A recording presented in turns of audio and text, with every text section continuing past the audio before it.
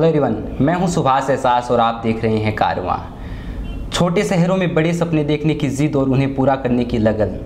ये बिल्कुल वैसा ही है जैसे कि कोई समुंदर को तैर के पार करने के सफ़र पे निकल पड़ा हो। जैसे कि कोई पहाड़ से इस उम्मीद पे कूद गया हो कि शायद वो बच जाएगा।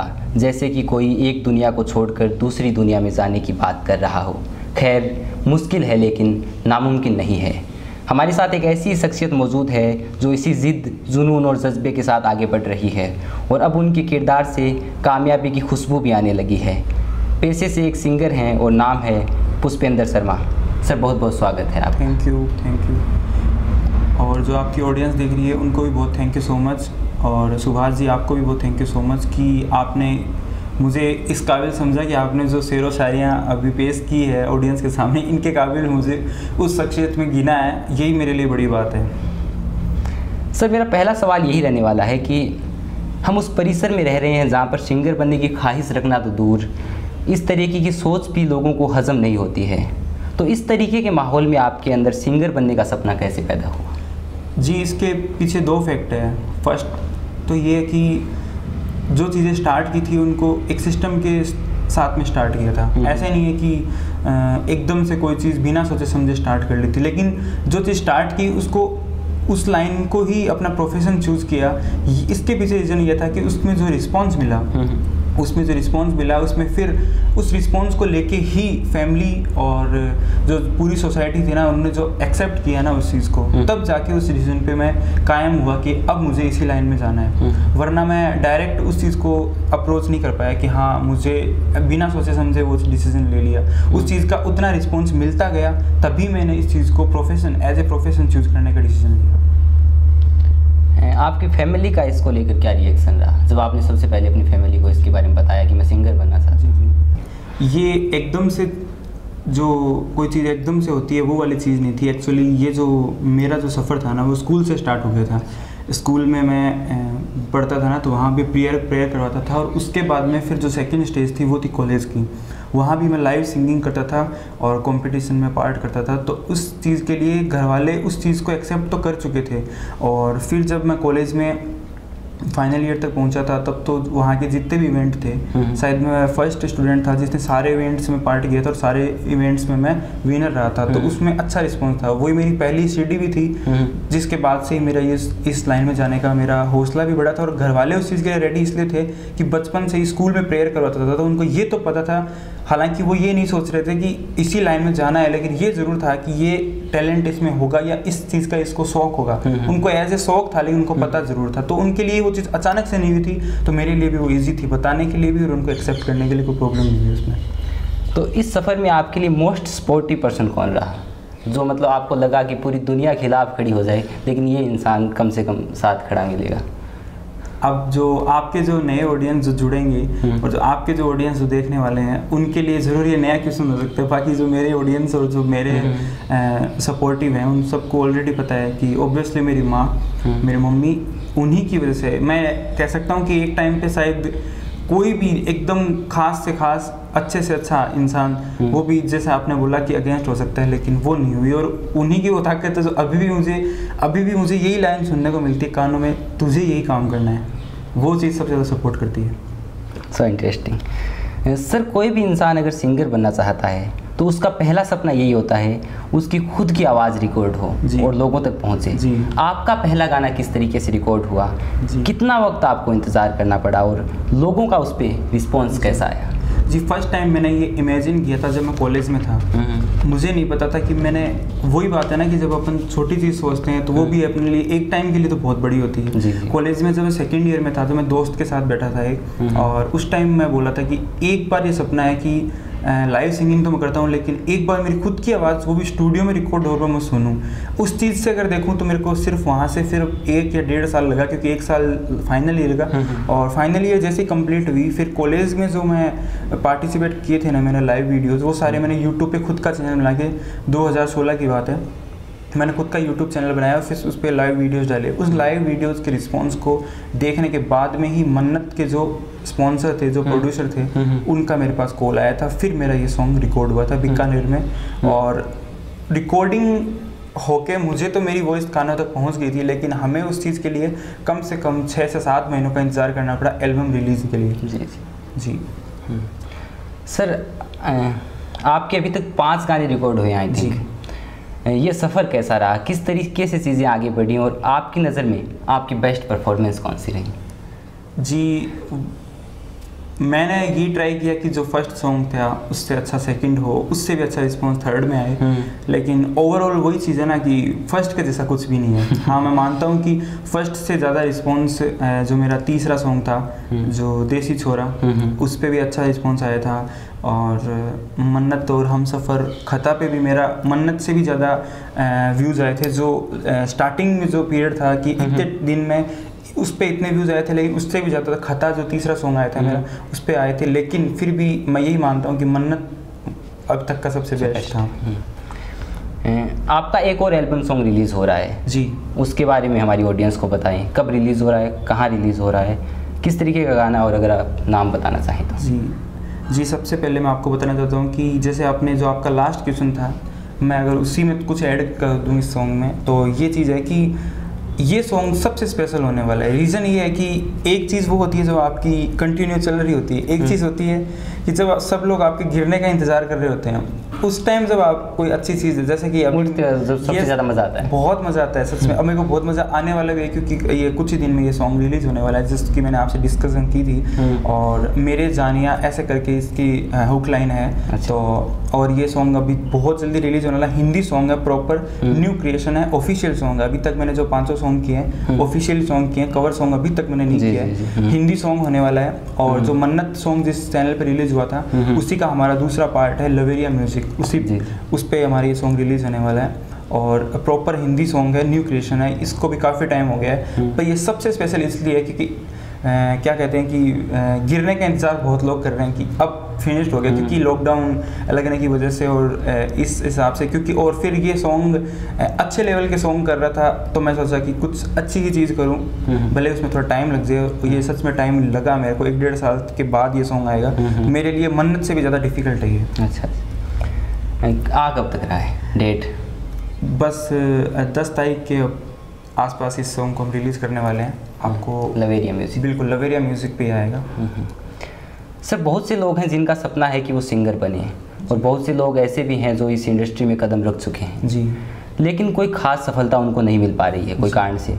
तो मेरे दो सवाल हैं। जी। पहला बिगिनर्स के लिए है कि शुरुआत कैसे की जाए जी। और दूसरा जो लोग थोड़े टाइम से मेहनत कर रहे हैं वो अपने सिंगिंग सिंगिंग स्किल्स को कैसे इम्प्रूव करें और पुष्पेंद्र शर्मा अपने सिंगिंग स्किल्स को इम्प्रूव करने के लिए क्या करते हैं? जी।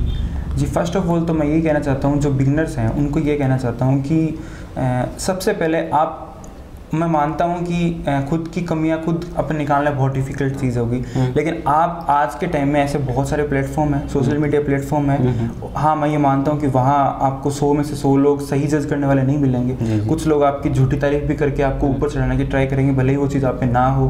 कुछ लोग आप में रियल टैलेंट होते हुए भी आपका कॉन्फिडेंस गिराने की कोशिश करेंगे। लेकिन मैं कहता हूँ कि खुद सबसे पहले खुद जज कर लें कि इस लाइन में मैं क्या मैं परफेक्ट हूँ। सबसे बड़ी चीज़ ये है कि टीन एज निकलने के बाद में सत्रह अठारह साल निकलने के बाद में जब सबसे क्रूशल एज आती है अपनी जहाँ अपने को करियर पे सबसे ज़्यादा फोकस करना होता है उसी टाइम पे अपने ये जुनून भी जाग उठता है हम्म। तो इस चक्कर में अपना वो भी स्पॉइल हो सकता है ये बहुत रिस्की चीज़ मान सकता हूँ मैं। As a career. इसीलिए मैं कह रहा हूँ कि ये जो एज होती है हम्म। ये बहुत रिस्की एज होती है इसमें अपन दोनों करियर अपने अपना शौक जुनून और साथ में अपनी अर्निंग सोर्सेज हम्म। उनको भी बनाना बहुत ज़रूरी होता है तो बिगनर्स के लिए तो यही चीज़ है कि अपने आप को जज बहुत जल्दी कर लें कि हाँ और अगर आपको लगे कि इससे मैं अर्निंग सोर्स भी बना सकता हूँ मेरे हम्म। और साथ में मेरी वॉइस को भी दुनिया तक पहुँचा सकता हूँ तभी आप इस चीज़ में आगे जाएँ सेकेंड चीज़ जो इस लाइन में घुस चुके होते हैं मैं ये चाहता हूँ कि ये जो प्रोफेशन है इसमें आपको क्योंकि इसमें बहुत लोग हैं बहुत कंपटीशन है और अब जब फ्रीलांसर का टाइम आ चुका है अब हम्म। आपको वो नहीं कि पर्टिकुलर आपको रियलिटी शो में ही आपको जाओगे तभी आपको मौका मिलेगा अब आप आप अब कोई भी इंसान अपना एक छोटा सा क्लिप भी अगर उसकी वायरल हो जाती है अगर उसमें सही टैलेंट है हम्म, तो सच में दुनिया उसको वायरल भी करती है उसको चांस भी मिलता है। हम्म। तो फ्रीलांसर के टाइम में और भी ज़्यादा टफ है लेकिन वही चीज़ है ना कि आप अपना प्लेटफॉर्म खुद तैयार करने की ट्राई करो हम्म। ना कि दूसरे पे डिपेंड रहो। तो शायद मेरे हिसाब से जल्दी इंप्रूव हो सकता है। जो ट्राई कर रहे हैं उनके लिए मेरा ये सजेशन रहेगा। बिगिनर्स के लिए एक सवाल यह था कि मतलब पुराने गानों को गा गा के प्रैक्टिस करें या मतलब उसके बाद? जी बात ये है ना कि और रियाज मतलब रियाज। पर्टिकुलर चीज़ यही है कि सबसे मोस्ट जी जो चीज़ है वो यही है कि डेली रियाज। डेली अपने आप में इम्प्रूव करना हम्म। और कंटिन्यूटी रखनी उस चीज़ की हम्म। ठीक है अब आप वो चीज़ कैसे किस चीज़ पे ट्राई करके करते हो लेकिन करनी बहुत ज़रूरी है हम्म। उनके अपन पैर के नाखून के बराबर भी नहीं। लता जी आज भी डेली रियाज करती हैं। अगर अपन अचीवमेंट्स और उस चीज़ को लेकर सोचें तो आज वो बहुत उन्होंने जो अचीव किया वो कोई नहीं कर सकता लेकिन आज भी डेली रियाज करती है मैं मानता हूँ कंटिन्यूटी बहुत ज़रूरी है बस इस चीज़ में। सर इस तरीके का करियर जब हम स्टार्ट करते हैं तो सबसे बड़ा इशू हमारे साथ ये होता है कि हम फाइनेंशियली स्ट्रॉन्ग नहीं होते हैं जी और 99 परसेंट चांस में घर वाले सपोर्ट करते नहीं जी।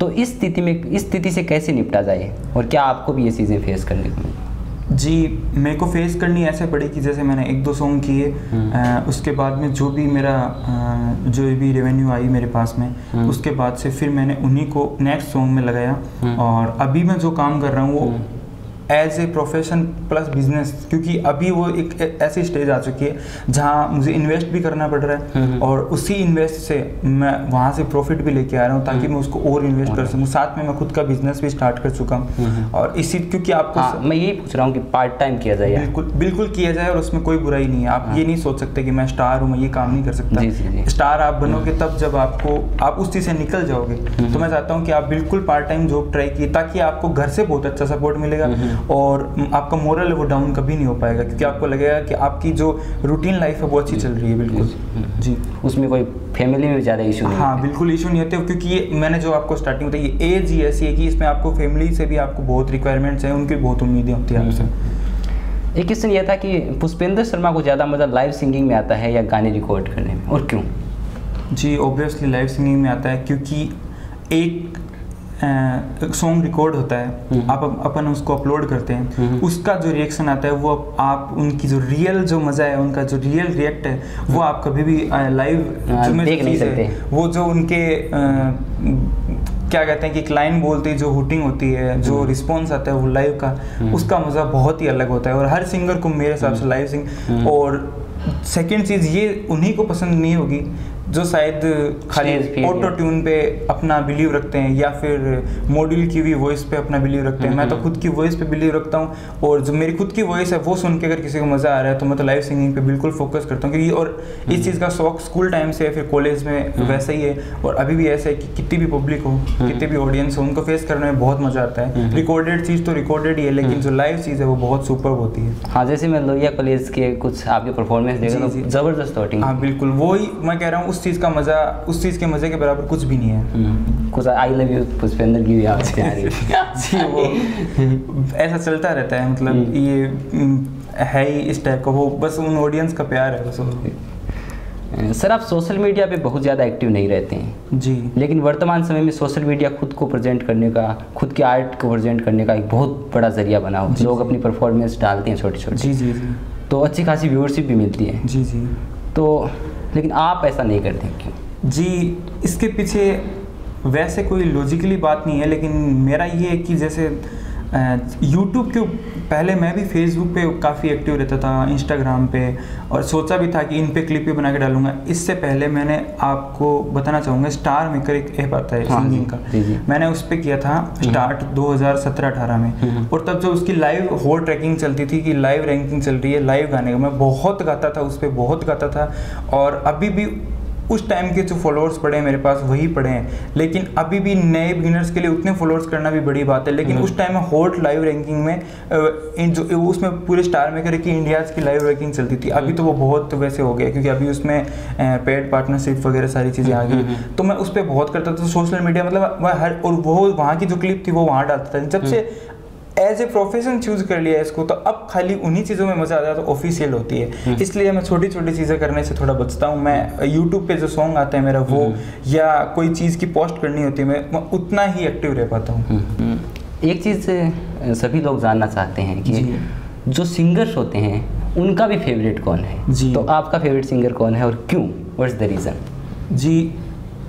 मेरे favourite singer obviously Arijit sir है हम्म। और रीज़न उनका ये है कि दो रीज़न है एक तो वो जिस टाइप के सॉन्ग्स गाते हैं हम्म। मुझे उसी जोन के सॉन्ग्स मुझे भी पसंद है हम्म। सेकेंड चीज़ ये होती है कि अपन जिस एज में इस फ़ील्ड में घुसते हैं उस एज में जो, जो चल रहा होता है हम्म। वो ऑब्वियसली उसी के सॉन्ग ज़्यादा सुन पाते हैं अपन हम्म। तो जब मैं कॉलेज टाइम में था तब ये अपने करियर के टॉप पे थे हम्म। और उस टाइम इन्हीं से इंस्पायर थे और फिर सबसे बड़ा रीज़न जो मैंने पहला रीज़न बताया। कि इनका जो वोकल टोन इनका जो जोन है। वही मेरे को पसंद है तो मेरे लिए तो मेरे फेवरेट यही है अरिजीत सर सबसे फेवरेट है नहीं मैंने आपके प्रोफ़ाइल में ऐसा एक बार आतिफ सर की भी जी जी जी। वो आतिफ सर की फ़ोटो उनको उनके लुक से बहुत इम्प्रेसिव हूँ क्योंकि नहीं सिंगर्स में लुक भी सेम ऐसा तो कुछ नहीं है लेकिन उनके लुक से ऐसे इम्प्रेसिव था कि एज ए सिंगर होने के बाद भी उनका लुक एज ए हीरो उनका लुक हाँ। आता है तो उस हिसाब से मैं नहीं जब आप लोगों के बीच जाते हैं तो आपके फैंस का क्या रिएक्शन रहता है? क्या प्यार हो? जी वो ही तो सबसे बड़ी चीज़ है जो अभी तक इस चीज़ से जोड़े रखती है डेढ़ साल तक कोई सॉन्ग नहीं आया हम्म। उसके बावजूद भी जैसे आपने भी मेरे को फ़र्स्ट टाइम यही चीज़ पूछा था भाई आप नेक्स्ट सॉन्ग कब आने वाले है हम्म। तो वो चीज़ बहुत अच्छी लगती है कि यार अभी भी लोग अभी भी ऐसे प्यार करने वाले लोग हैं जो जिनको अभी भी पता है कि इसका सॉन्ग आने वाला है हम्म। या इसका सॉन्ग आएगा या जिनको सच में मेरा सॉन्ग का वेट है भले क्या हम्म। पता उनके अकॉर्डिंग करियर ही स्पॉइल स्पॉइल हो गया होगा पूरा नहीं आने वाला होगा लेकिन अभी भी उनको मेरे सॉन्ग का वेट है सच में उन लोगों के प्यार का मुकाबला नहीं हो सकता और उन्हीं की वजह से एक सिंगर एक स्टार एक, एक इंसान कुछ भी बनता है कुछ भी करता है तो उन हम्म। लोगों के प्यार के बिना कुछ भी नहीं वो चाहें तो दो मिनट में नीचे गिरा सकते हैं लेकिन आपका बिहेवियर और आपकी टैलेंट और आपका लोगों के साथ बात करने का तरीका क्योंकि मैं जहाँ भी जाता हम्म। हूँ और जहाँ भी लाइव सिंगिंग करता हूँ और उसके बाद में सबसे मिलता हूँ और होता हूँ उसके बाद से मेरे पास में जो सोशल मीडिया पे उनसे जुड़ाव होता है हम्म। तो कहीं मेरे वो चीज़ नहीं है किसी का रिप्लाई नहीं देना कुछ करना नहीं बहुत अच्छे से जुड़ा रहता हूँ उन लोगों से तभी उन लोगों को भी आज मेरे जैसे थोड़ा टाइम निकल गया है। थोड़ा टाइम निकल गया उसके बावजूद भी उनको उतना ही वेट है मेरे सॉन्ग का वो चीज़ बहुत अच्छी लगती है और उनका प्यार ही है जो जिसकी वजह से आज आप ऐसी चीज़ कर रहे हैं मेरे साथ में हम्म। कभी ऐसा हुआ कि कोई लड़की ने अचानक आगे प्रपोज कर दिया कि जी लाइव तो ऐसा था कि लाइव तो फ़ोटोज़ वगैरह लेना ऑटोग्राफ वगैरह लेना ऐसा हो चुका है। प्रपोज का अभी तक नहीं हुआ। लेकिन जो सबसे सोशल मीडिया पे काफ़ी हो चुका है। उस चीज़ से बहुत यूज़ टू उस चीज़ से यूज़ टू स्टार मेकर के टाइम से मुझे स्टार मेकर पे गाता था। हम्म। तो क्योंकि वहाँ लाइव गाता था तो लाइव में काफ़ी इंट्रेक्शन था वहाँ पे। बहुत तो मतलब काफ़ी वो था। उसके बाद में जस्ट वहाँ चैट का ऑप्शन होता है। हम्म। तो जैसे ही लाइव एंड करता था वहाँ से डायरेक्ट चैट पे पहुँच जाती थी। लड़कियाँ लड़के जो भी है उस हिसाब से। सर आपकी निशा मैम से अभी फ़िलहाल सगाई हुई है जी।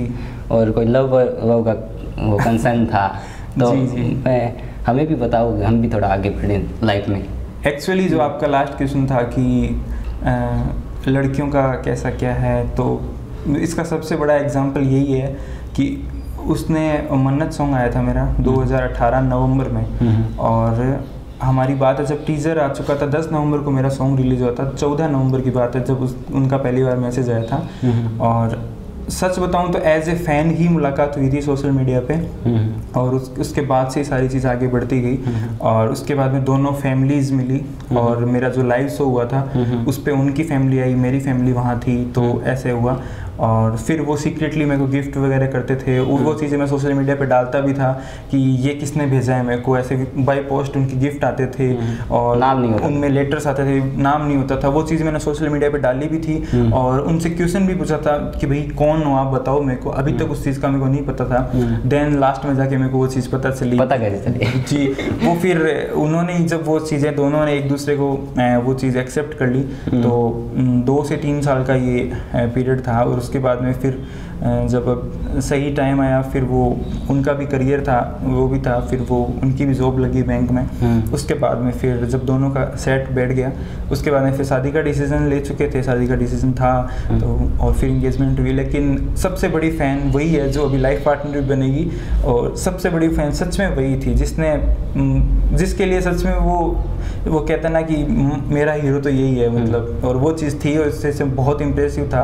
और फिर वो बात ही नहीं होती कि उस मैं उन्होंने मेरे को एज ए फ़ैन ऐसे किया मैं फिर मेरे अब उनके साथ में बिहेवियर और आपस में बॉन्डिंग और फिर मेरे को भी वो चीज़ दुनिया मुझे भी दुनिया की सबसे नायाब चीज़ उसी में दिखी हम्म। तब मैंने भी उनको जाके वो चीज़ बोली और फिर अपन फिर दोनों का पैचअप हुआ नहीं उनकी तरफ़ से आपको इमोशनली सपोर्ट है वो कितना मिलता बहुत ज़्यादा बहुत ज़्यादा है क्योंकि उनके आने जब मेरा फ़र्स्ट सॉन्ग आया था तब से वो मेरे टच में है हम्म। उसके बाद में मेरे अप्स एंड डाउन्स में हमेशा मेरे साथ रही हैं वो हम्म। अभी भी है और उनके लिए उन्होंने जिस चीज़ को देख के सबसे पहले पसंद किया था वो कैसे सोचेंगे कि ये चीज़ ही वो छोड़ दें? अच्छा। क्योंकि वो चीज़ तो वो कभी छोड़ना ही नहीं चाहेंगे कि हाँ वो चीज़ ही ये छोड़ दें जिस चीज़ के लिए उन्होंने पसंद किया था। हम्म। तो सच में वो बहुत सपोर्ट है।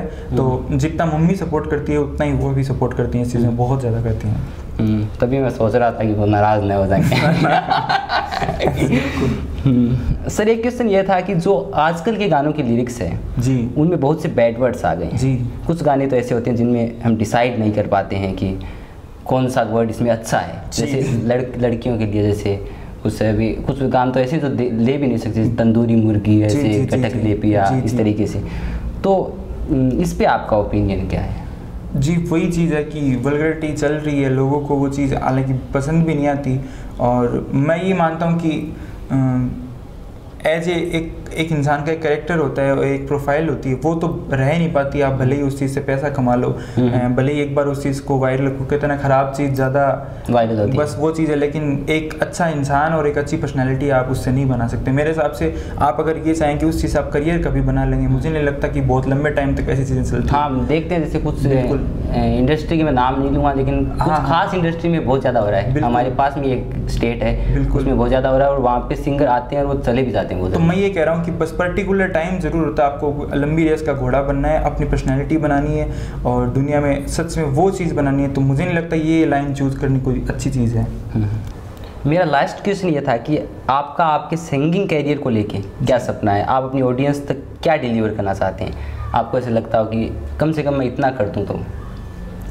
ज़्यादा कुछ ना बोलने के बजाय मैं इतना ही कहना चाहता हूँ कि आपकी जो उम्मीदें हैं और मेरे पीछे जो काम किया है उससे उससे मैं और ज़्यादा बेस्ट करने की कोशिश कर सकता हूँ। इतना इतना ही मेरा सपना रहता है हर सॉन्ग में हम्म। कि जो पहले जो चीज़ की है उससे और बेटर कर पाऊँ। उसमें जो चीज़ की है, फिर उससे और बेटर कर पाऊँ। और ये चीज़ है कि लेवल अप करना मेरा सबसे बड़ा इशू रहता है। हम्म। उस चीज़ की वजह से मैंने डेढ़ साल का वेट किया है। सिर्फ़ इसी चीज़ के लिए कि लेवल काम जिस काम का लेवल का काम कर चुका हूँ मैं कभी नहीं चाहता कि मैं उस चीज़ से नीचे लेवल का काम करके स्टार्ट करूँ क्योंकि जिन लोगों ने मेरी प्रोफ़ाइल को उस तरीके से देखा है जो लोग जुड़े हैं मेरे साथ वो उस चीज़ को देख के जुड़े हैं। मैं उससे नीचे का काम नहीं कर सकता।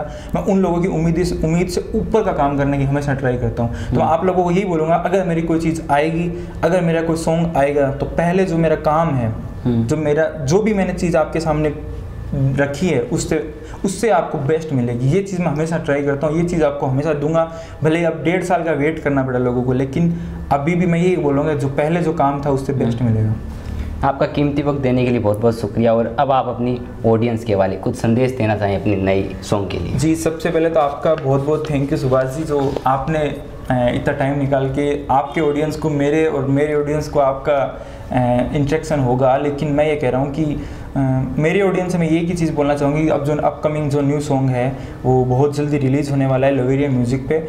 और ये मान के चलिए कि जो पहले जो सॉन्ग्स आए थे, उनकी जो लोकेशंस थी, उनका जो काम था और जो जिस लेवल का काम किया उससे बहुत ज़बरदस्त आने वाला और ये चीज़ मैं हर बार आपको बोलता हूँ कि जो चीज़ पहले की है, उससे बेस्ट आएगी। और यही इस बार मैं आपको प्रॉमिस करता हूँ। सॉन्ग आने से पहले ही प्रॉमिस करता हूँ कि आपको मेरा काम पसंद आने वाला है। क्योंकि पहले जो मेहनत की है, उससे ज़्यादा मेहनत इस सॉन्ग पे की है हम लोगों ने।